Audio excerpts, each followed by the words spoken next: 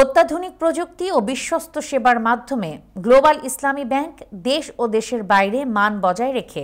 অত্যন্ত দ্রুততার সাথে শাখা উপশাখা সম্প্রসারণ করছে বলে মন্তব্য করেছেন গ্লোবাল ইসলামী ব্যাংকের ব্যবস্থাপনা পরিচালক সৈয়দ হাবিব হাসনাদ সকালে ভার্চুয়াল প্ল্যাটফর্মে আয়োজিত চট্টগ্রামের সাতকানি উপজেলার কেরানীহাটে গ্লোবাল ইসলামী ব্যাংকের নব্বইতম শাখার উদ্বোধনী অনুষ্ঠানে প্রধান অতিথির বক্তব্যে এসব মন্তব্য করেন তিনি